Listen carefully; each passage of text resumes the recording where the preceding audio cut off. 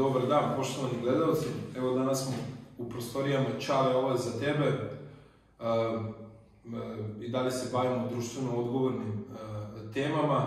Danas je sa nama Dragiša Luković iz Aranđelovca i Dragiša će vam reći, reći će vam nešto više o svojoj, o svojoj sudbini i svom iskustvu koje je prošao kao radnik Beograda na vodi, svim obmanama, svim obmanama poslodavaca koji su se odnosili prema njemu obećanja i laži sa kojima se suočavaju i teškim uslovima, naravno sa kojima se suočavaju radnici, radnici Beograda na vodi. Još jednom ja da vas pozdravim i Dragiša, zdravo Dragiša, poštovanje. Ti, ti Dragiša imaš reč. Reci nam Dragiša, reci nam tvoju priču od momenta kad si, kad si saznao da, da dolaziš na, dolaziš da tražiš posao, pa kako je sve to izgledalo, e, ko te je zaposlio, ko ti je šta obećao, da li si potpisao ugovor o radu, e, kako si dobio novac, da li na račun, da li na ruke, šta je zapravo bilo, šta se dešavalo, da li si imao zdravstveno osiguranje, da li su uplaćivali doprinose, kakvi su bili uslovi smeštaja, rada i svega ostalog, šta je zapravo ono što čujemo na televiziji, šta su zapravo iskustva ljudi koji tamo rade? Zapravo su ovakva iskustva. Ja sam došao 9. decembra prošle godine da radim na Beograd na vodi, došao sam sa latom, bilo je tu razna šetanja, htio sam odeti onda i najzad sam našao kop. Našao sam šefa gradilišta, Stefan se zove. Stefan se zove šef gradilišta u Beogradu na vodi. Kao je to? Kula? Kula A. Kula A. Kula A. Dobro. I onda sam Juri tako poslije pitao sam ga za posao i onda su mene primili.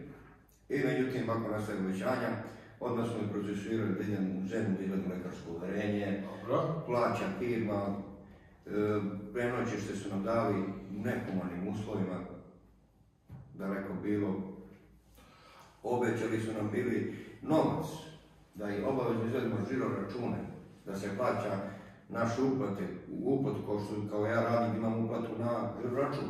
Da.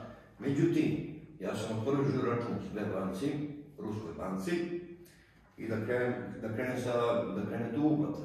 Ja sam se svakog momenta nadao da će da bude uplata na, na račun. Međutim, ja prolaz, prolaz, kako prolaza vreme, odmičalo je gledao vreme, nema ništa. Kada se, hvala Bogu, ne mogu na telefon, kad ti stigne poruka da vidiš. Ali je siglo... Ali su rekli da će sad novac da ide na račun. Da, na račun. Međutim, se država se tu priča, da mi je poslovođa Jovan Popović rekao, kad zovete Stefan u, u kancelariju. Da. I ništa. Ja, ja sam se preko, ko, šta sam sad nešto zgrešio napravio, da nisam nešto zgrešio. Ja sam otišao u kancelariju, a meni kaže, Luković, u tebi nije, i još i dvojici kolega nije nego novac na račun. Da. Nego ćete sačekati blagajnika da vam donese. Mi smo dobili novac u kopertu. Da, znači oni vas isplaćuju na ruke. Na ruke, na ruke. Što je totalno nezakonito poslovanje. Znači ne dobijete nikakav doprinos, ni socijalno, ni zdravstveno, ni staž, ništa vam se uplaćuje od onoga što ste, da kažemo, potpisali u ugovoru na radu i što, ste dogovor... što, što, što su vam obećali. U ugovoru radu ovako glasi, pomoćnik tesara, da asistiram tesar. Da to piše. Faktično će vidi uvod kad se piše ugovor da piše ugovoru tamo da moram paziti materijal, to jeste moja dužno da čuvam ovo, ovo razumeš, da, da, da sam odgovor. A faktički nigdje ne piše na strani ugovora da je odgovoran, šta je odgovoran poslodavac. Da li su nas smještali? A gdje se nalazio taj smještaj? Taj se smještaj nalazio u ulici Aleksandra Gojinovića. Da, to je u, gdje, koji dio grada? To ti je Resniku. U Resniku. U Resniku je... A to je nije baš blizu? Nije ni blizu. Još dva prevoza. Znači, vama, vama ta firma koja vas je zaposlila, ona vam ne organizuje prevoz do... Ne organizuje, ne, ne, ne, ne. Mi, mi ostajemo presjedamo, na primjer. Da. 3A, pa dođemo do Kneževca, pa od Kneževca pređemo u Raskrsku, tamo pa idemo za 47 pa idemo za... A kakvi su, kakvi su bili uslovi u tom smeštaju? Koliko vas je spavalo u jednoj sobi? Samo malo glasnije da pričaš. E, e, koliko nas je spavalo u jednoj sobi? Koliko vas je spavalo u jednoj sobi, da li ste imali toplu vodu za tuširanje, da li ste imali obroke? Petorica, petorica u jednoj, u, u jednoj sobi smo jednoj spavali, bili su tu, tu su kreveti na spratove. Hranu, hranu smo imali smo, imali smo jedan obrok odavde. A koliko je, koliko je obroka bilo, dok, to je Dogovoreno je bilo dva obroka da bude, i Dva. u prenoću. Međutim, kako smo se snalazili mi kao radnici za drugi A kako se zvala ta firma kod koje si bio zapošljen? kopra, Kopra, ja. kopra. E, međutim, kako smo se snalazili mi radnici za drugi obrok?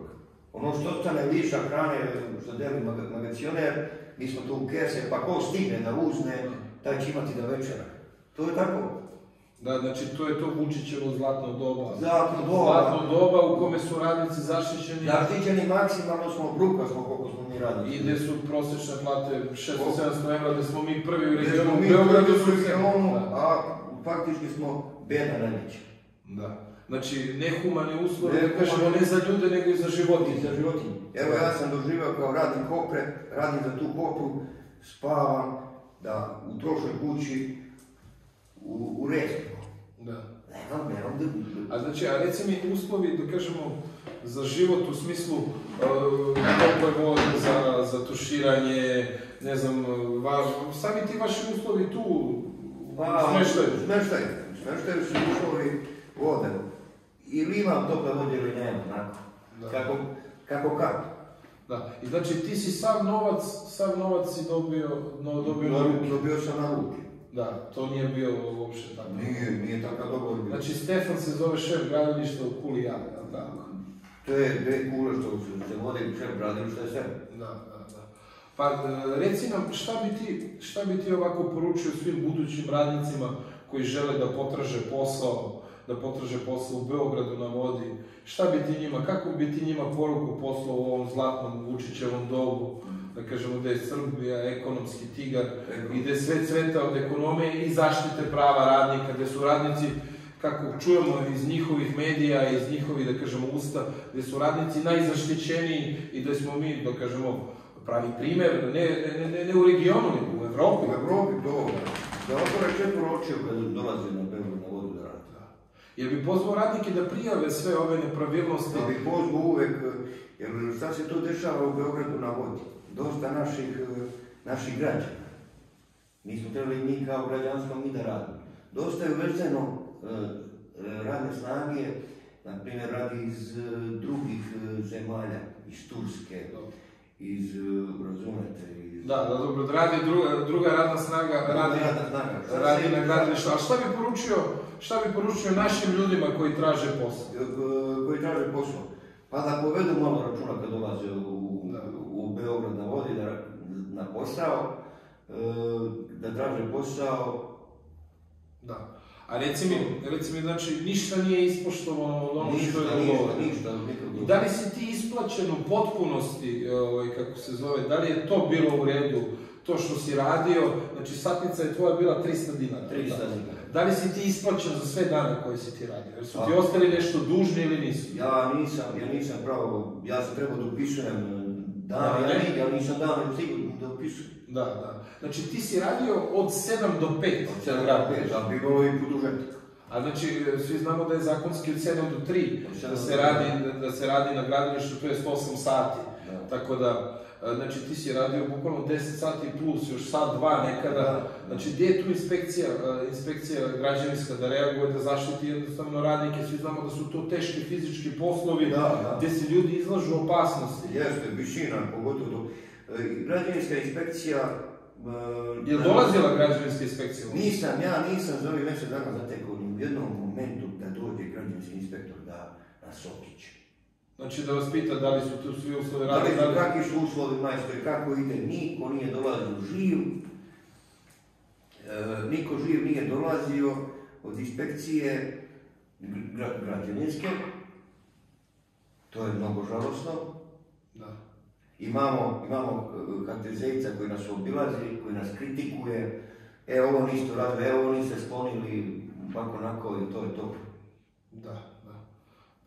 Ne znam šta da kažem, očigledno da, da tamo građevinska inspekcija i kad bi napisali prijavu što ćemo mi uraditi u ime pokreta, baš, baš za tu firmu i za te radnike, očigledno da e, tu inspekcije ne zalazi. Nažalost, nešto je to državna inspekcija, to kao da je e, neka rimsko-carska periferija. Znači tu jednostavno, tu se drži monopol, da Monopol, to je jedna zona bez zakona, tako? Da, rekao bi još nešto novim kolegama i budućim koji bi želili da dođu da dođu da, Da se zaposle, da- na Beograd na vodi, da je to moderni, moderni, Moderno ropstvo. moderno ropstvo. Damo ti kao smještaj, damo ti kao neku platicu, malo ti ćeš da radiš ovo ono, međutim, to uopće ne ispoštuju, Da. Znači, i onda te izbace na... Znači, otprilike zaključak je ovako. Moderno Vi ropstvo. tamo radite, od, od ugovorenih 8 sati vi radite preko 10 sati. Preko 10 Ne uplaćuju vam se ni staž, Ni zdravstveno, ni socijalno. Znači, ništa vam se ne uplaćuje od onog što je dogovoreno.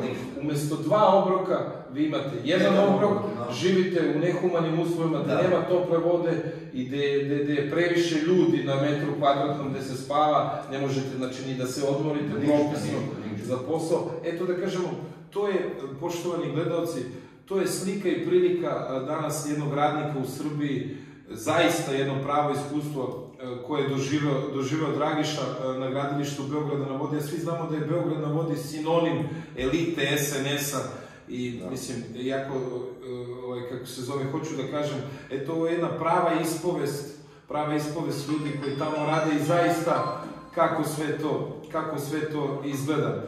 Dragiša, e, hvala ti puno, pratit ćemo tvoju priču, evo pozivamo i sve, i sve samo, samo se, po- pozivamo i sve ostale kolege tvoje da nam se jave, da li preko tebe ili meni preko pokreta Čale, ovo je za tebe, tu je i website kao i stranica pokreta Čale, ovo je za tebe, da na taj način skrenemo pažnju u kakvim zaista uslovima rade radnici, radnici Beograda na vode i uopšte u kakvim se uslovima nalaze radnici u Srbiji. Izvoli, Dragiša, e, reci, Htio sam još nešto da dodam. No, šta bi to da kažem? Pravu stvar. Za Beograd na vodi, to ti je... Oni... Da, nema veze, Dragiša. Hvala ti puno i, i radit ćemo, radit ćemo, radit ćemo na ovom slučaju da skrenemo paš. Da. Hvala puno, poštovani, gledalci.